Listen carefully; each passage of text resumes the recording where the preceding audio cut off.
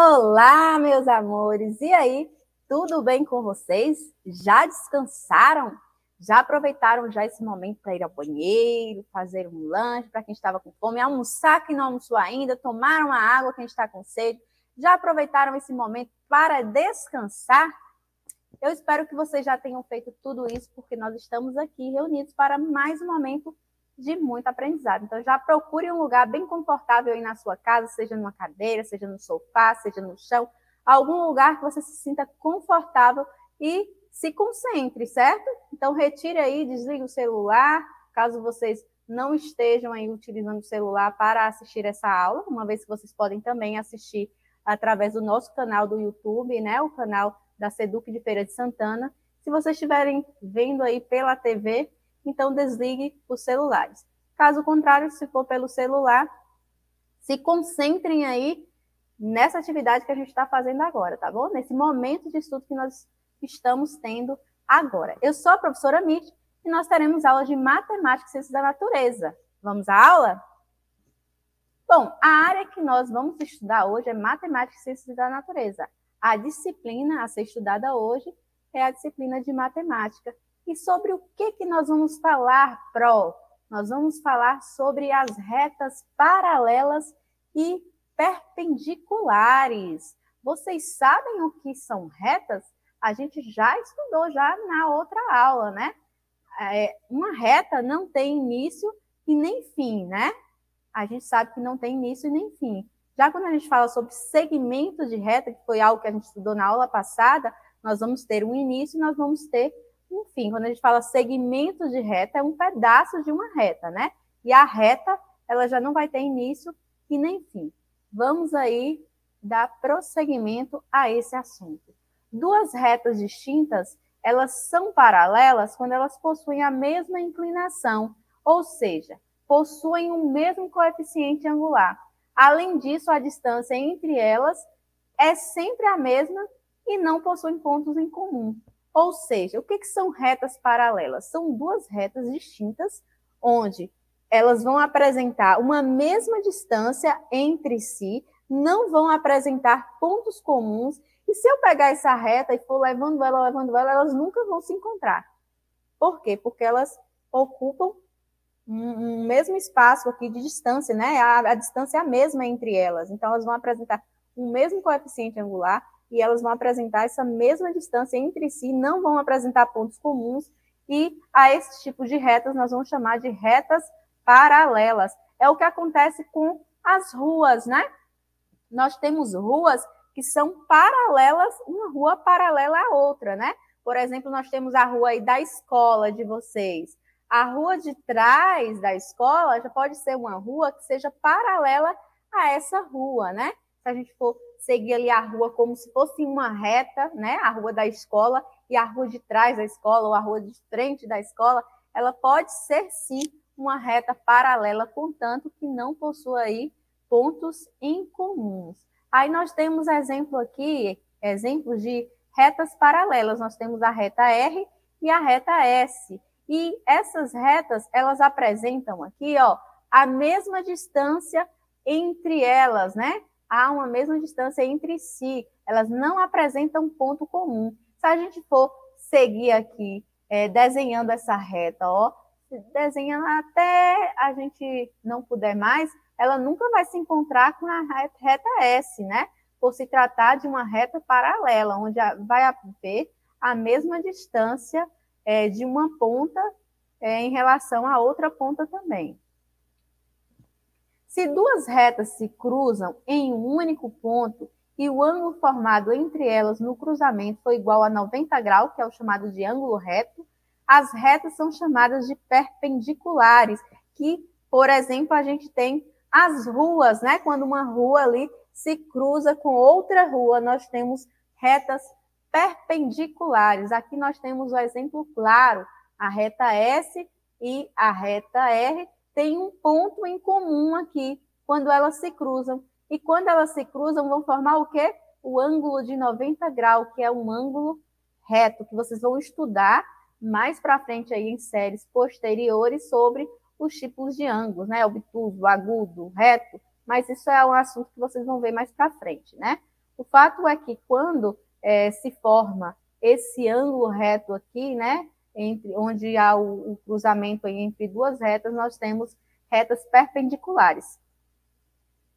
Imagine que uma pessoa tenha lhe pedido uma informação de como chegar à escola Felicidade, partindo do metrô.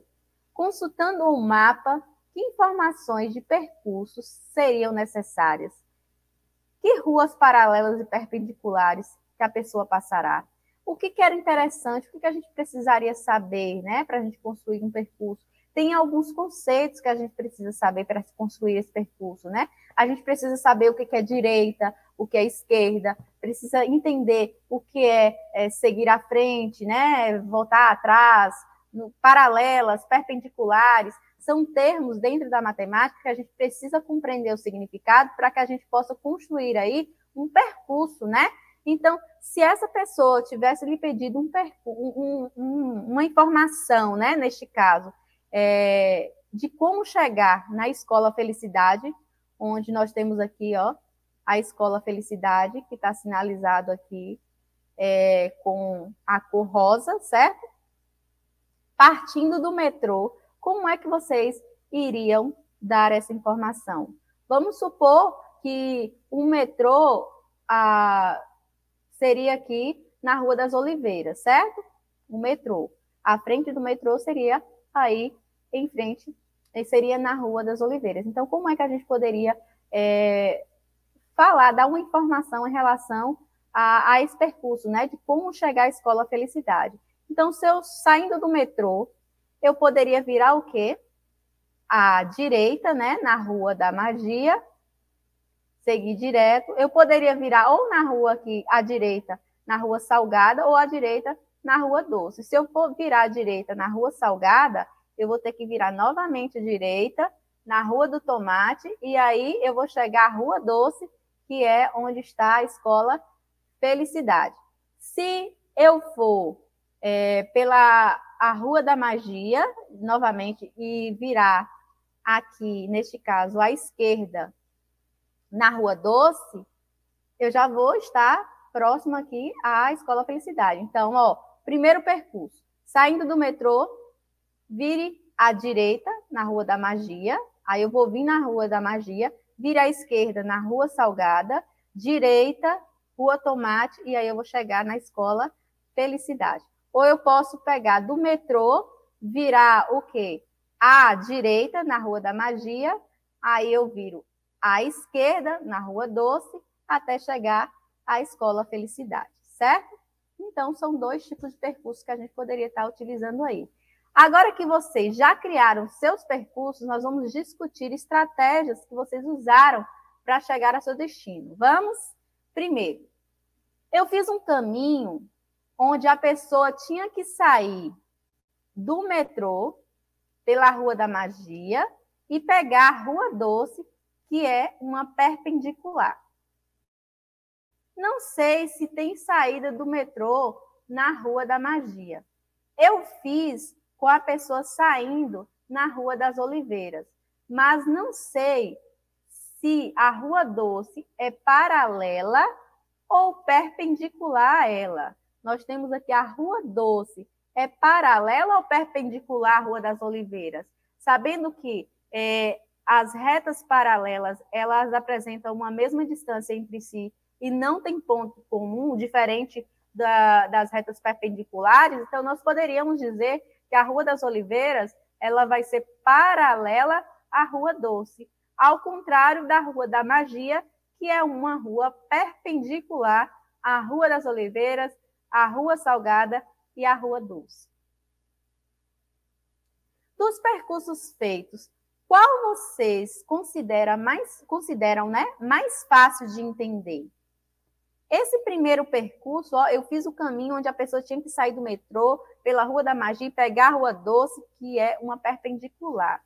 Ele não utilizou aí os termos aí de forma é correto. Ele poderia dizer, né, de usar o direita, o esquerda. Ele utilizou o perpendicular, que é algo legal. Já no segundo aí, nós é, tivemos aí uma pessoa que não sabia, né, o que, que seria uma rua perpendicular, já que ele disse que não sabia se a Rua das Oliveiras era paralela ou perpendicular à Rua Doce. Ele, como não sabe o significado de perpendicular, ele talvez tenha dificultado mais aí é, a análise aí do percurso, né?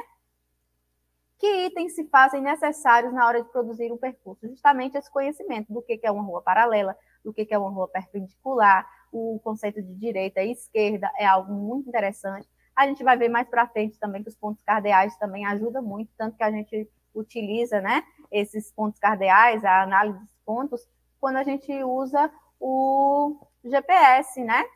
É, siga norte, siga sul, e a gente precisa entender onde é o norte, onde é o sul, onde é o leste, onde é o oeste. Então, a gente utiliza também os pontos cardeais. Mas falando sobre esses conceitos, é importante a gente entender o que é direita e esquerda, é importante a gente entender o que, que é uma paralela, o que, que é uma perpendicular, para que a gente possa construir aí um percurso. Qual a maior dificuldade encontrada, então, para fazer esse percurso? Justamente ele não compreendia lá o que, que era uma perpendicular ou o que era uma paralela. Se ele não sabe o que é um perpendicular, ele vai ter dúvida também sobre o que seria uma paralela, né? E aqui a gente tem as retas paralelas. As retas paralelas, elas não apresentam ponto comum entre si, possuem a mesma distância entre elas, não importa a sua posição, contanto que essas retas elas não se cruzem, elas não apresentem esse ponto em comum e elas apresentem a mesma distância entre si, tanto de uma ponta quanto no meio, quanto na outra ponta, a gente vai ter aí uma, retas paralelas, né? E já as retas perpendiculares, eh, perpendiculares, perdão, elas apresentam aí um ponto em comum e vão formar ângulos de 90 graus entre si, que são ângulos retos. É, nós temos quatro aqui ângulos retos, né? Como a gente tem aí nesse exemplo. Nós vamos analisar agora o croque feito por um aluno de quarto ano e os apontamentos que ele fez. Olha só. O aluno indicou as ruas S e Q como perpendiculares. A S e a Q são, são perpendiculares você concorda com essa afirmação dele? Porque a SAQ poderia ser paralela? Não. Não poderia ser paralela. Porque se a gente for pegar a rua até o final, vai ter um ponto em comum. Note que não tem a mesma distância entre si essas ruas. Então, elas não poderiam ser paralelas. Então, ela pode ser apontada como perpendicular? Também não. Por que perpendicular também não? porque para ser perpendicular vai formar um ângulo de 90 graus. Então, a gente também não vai considerar também uma perpendicular. Seria aí é, retas concorrentes, mas isso é algo que vocês vão estudar mais para frente. Então, não poderia ser nem paralela e nem perpendicular. Se prolongarmos a rua S, ela será paralela à rua Q? Não. Por quê? Porque elas vão se cruzar, certo? Vão ter um ponto em comum o que, que esse aluno teria que fazer para que a rua S se tornasse paralela à rua Q? Para que se tornasse paralela, teria que ter a mesma distância entre elas, como acontece aqui com a rua T e a rua S. Essas ruas sim são paralelas, certo? É, a rua R e a rua T, elas são o quê? Perpendiculares, porque vão formar um ângulo de 90 graus. Então, a gente poderia dizer que a rua R e a rua T ou a rua R e a rua S são, neste caso, é, perpendiculares, e nós temos como retas aí paralelas ou ruas paralelas a T e a S, a R e a P, certo? Nós não vamos considerar que, porque quando elas se cruzarem, se a gente prolongar essa rua, não vai formar um ângulo de 90 graus, então não pode ser perpendicular. E também não, é, não apresentam a mesma distância entre si, então também não pode ser paralela, certo? Nessa aula, você aprendeu o conceito de retas paralelas e perpendiculares. Vimos que, para as retas serem consideradas paralelas, elas não podem ter um ponto em comum e também precisam manter a mesma distância entre si. Algo que não aconteceu lá com a rua Q, né? As retas, já as retas perpendiculares, elas apresentam um ponto em comum, formando neste ponto de encontro quatro ângulos de 90 graus, que são chamados de ângulos retos. Então, nós aprendemos o que, que são retas paralelas e o que, que são retas perpendiculares. Este é o plano da praça onde Alex pratica suas corridas de bicicleta.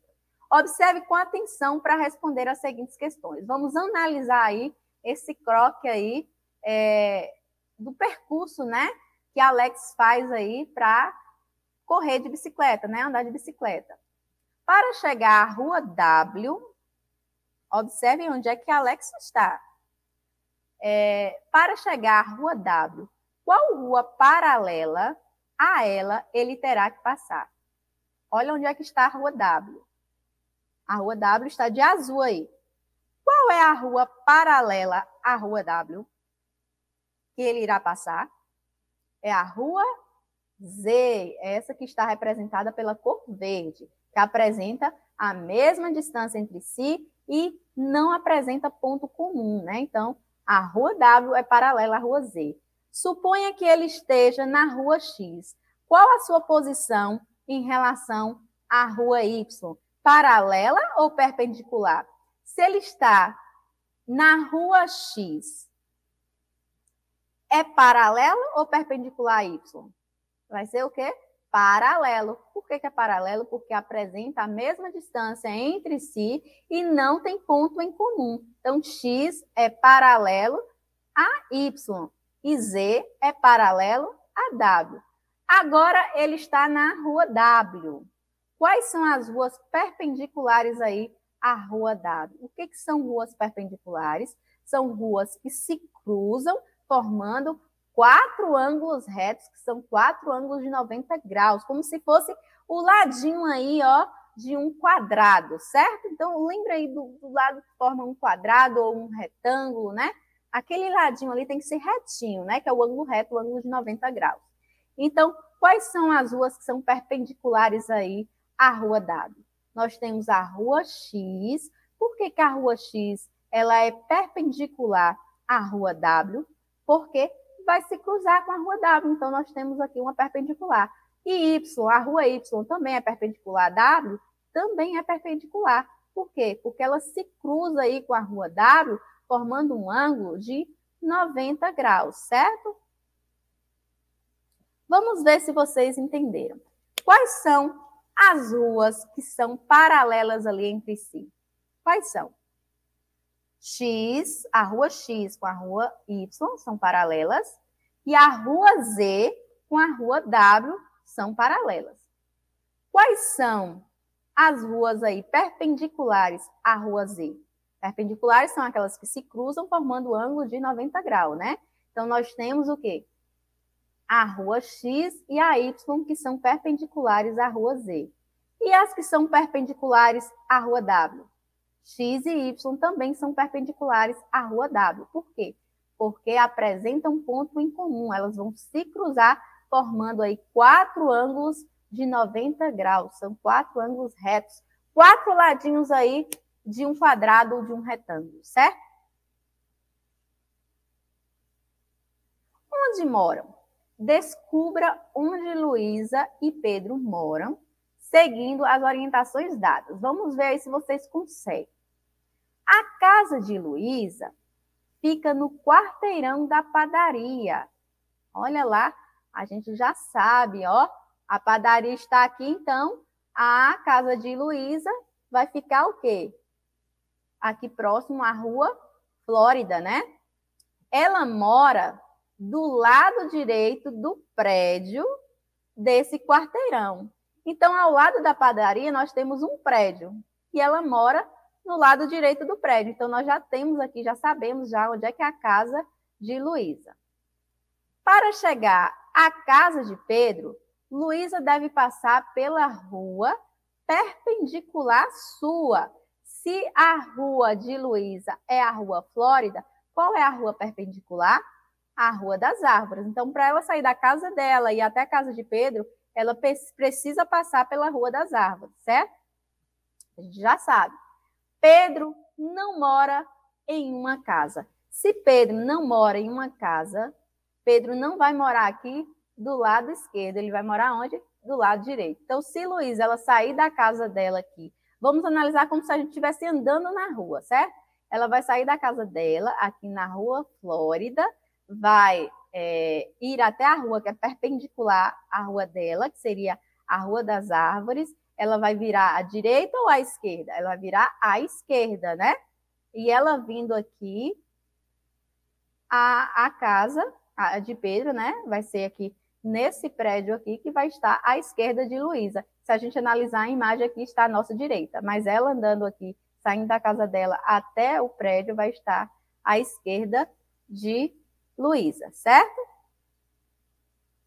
Vamos observar a imagem abaixo.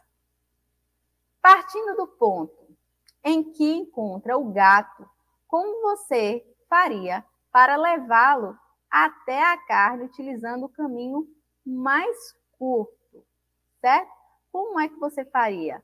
Você deve passar por todas as letras, números, andar na vertical ou na horizontal. A gente pode seguir reto aqui, né? Que a gente vai passar pela letra D, C, B, A. E aqui, quando a gente chegar no A, a gente vai virar aqui à direita, no caso, nossa direita, se a gente analisar a gente, certo? Até chegar ao é, a comida aí para o gato, né? Se a gente for analisar como se a gente fosse o gatinho ali seguindo, a gente vai virar o quê? À esquerda, né? Mas analisando a imagem aqui, tal qual está a imagem, para a gente pintar, para a gente fazer o percurso, seria seguir da letra E até a letra A, e depois que vai formar uma perpendicular aí, né? Com a linha A. A coluna 1 com a linha A faz uma perpendicular, que é a vertical com a horizontal. Aqui nós temos um caminho. Como é que a gente descreveria esse caminho aí? A gente vai sair aqui do, da linha 4, né? Vai seguir reto e depois nós vamos virar o quê? À esquerda até o, a linha 2, virar o quê? À direita depois o quê? A direita novamente da, do, da linha 2 até a linha 5. E aí a gente vai seguir a coluna F aqui para a gente chegar até a escola. A gente pode utilizar o conceito direita, esquerda. A gente pode dizer também que ela, é, nesse caso, a gente tem uma perpendicular aqui quando chega no, no ponto B ao C aqui, na, das colunas, né? Nós temos perpendicular também aqui do E ao F, né? Onde essa linha número 2 vai se cruzar aí com a coluna F, né? E para finalizar, eu trouxe aqui para vocês um vídeo, um resuminho aí breve sobre retas paralelas e perpendiculares. Vamos lá? Pessoal, tudo bem? Nessa aula, nós vamos estudar retas paralelas e perpendiculares em dobraduras. Lembrando que duas retas são paralelas em um mesmo plano quando não possuem nenhum ponto em comum, e duas retas são perpendiculares quando elas são concorrentes, ou seja, elas se interceptam formando um ângulo de 90 graus entre si. E o que é uma dobradura? Uma dobradura nada mais é do que a arte de construir objetos com papel. E para entender isso, nós vamos utilizar um algoritmo, ou seja, um passo a passo de uma dobradura de um coração. A primeira coisa que nós temos que fazer é dobrar duas vezes a folha ao meio e depois desdobrar. Observe que, nesse primeiro passo, ficou duas marcas. E se você perceber, essas duas marcas formaram duas retas perpendiculares entre si. Isso porque elas se interceptam somente em um ponto e formam um ângulo de 90 graus entre si. O segundo passo é dobrar para frente essas linhas pontilhadas que você vê na imagem. E o interessante é que essas linhas pontilhadas elas são retas perpendiculares entre si. Isso porque elas formam um ângulo de 90 graus e se interceptam em apenas um ponto. E olha que interessante, lembra que ficou uma marca na nossa folha quando a gente dobrou a primeira vez? Então, essa marca ela forma uma reta que é paralela a esse lado aqui da folha. Isso porque essa reta não se intercepta com essa aqui, ou seja, não tem pontos em comum e, portanto, elas são paralelas. Então, no segundo passo da nossa dobradura, nós já conseguimos identificar retas perpendiculares e retas paralelas. O terceiro passo consiste em dobrar a parte indicada para frente nas linhas pontilhadas. Ou seja, vamos pegar essa parte aqui e dobrar sobre as linhas pontilhadas. E você consegue identificar nessa parte alguma reta paralela ou perpendicular? Olha, essa reta aqui é paralela a essa reta aqui, que é a que vamos dobrar sobre as linhas pontilhadas. O quarto passo consiste em virar a figura. E quando você faz isso, você vai ver algo mais ou menos assim. Já no quinto passo, nós devemos dobrar o papel para frente na linha pontilhada, como indica na figura. Ou seja, essa linha aqui, novamente, nós temos duas retas perpendiculares aqui. Isso porque elas se interceptam em um único ponto e formam entre si um ângulo de 90 graus. E olha, os lados opostos são paralelos. Isso porque eles nunca se interceptam. Enfim, eu posso colocar aqui os últimos três passos para completar o nosso coração, sendo que o sexto consiste em dobrar para frente a parte indicada nas linhas pontilhadas, o sétimo, também dobrar para frente nas linhas pontilhadas, as linhas que estão indicadas na figura, ou seja, essa partezinha aqui você deve dobrar para frente. E, por fim, você deve virar a figura e, finalmente, vamos ter o nosso coração. E você consegue identificar retas paralelas e perpendiculares nesse coração? Olha, essas duas retas aqui, elas são paralelas. Isso porque elas não possuem ponto em comum, elas não se interceptam. E olha, essas duas retas aqui, elas são perpendiculares entre si. Isso porque elas possuem somente um ponto em comum e formam um ângulo de 90 graus. E se você tiver alguma dúvida em relação a isso, você pode consultar uma figura de um passo anterior. Por exemplo, essa parte aqui é a mesma parte do passo 8, e essas retas elas são perpendiculares entre si. Portanto, essas duas retas elas são perpendiculares entre si. Por fim, pessoal, eu quero mostrar para vocês que também é possível nós utilizarmos aplicativos de dobradura. Isso ajuda a visualizar melhor a ideia de retas paralelas e retas perpendiculares. Por exemplo, aqui eu tenho uma folha de papel e eu tenho que construir esse retângulo com apenas cinco passos. Dependendo do que você fizer, você não vai conseguir formar o retângulo. Por exemplo, eu posso puxar essa parte para cá, depois essa outra assim, depois essa outra desse jeito. Mas, olha, eu já não vou conseguir formar o meu retângulo. Enfim, eu tenho que achar algum jeito de formar esse retângulo. Talvez, se eu pegar essa parte aqui e dobrar até aqui, formando um triângulo, e observe que essa reta ela é perpendicular a essa aqui, eu posso dobrar essa parte aqui desse jeito, formando outro triângulo aqui, posso dobrar esse pedaço e dobrar esse pedaço desse jeito, formando o meu retângulo. E se você olhar a figura que foi formada, foi um envelope. Ou seja, se nós seguirmos esses passos com uma folha de papel, nós vamos construir um envelope. Olha que interessante. Com essa dobradura, essa reta aqui e essa outra, elas são perpendiculares.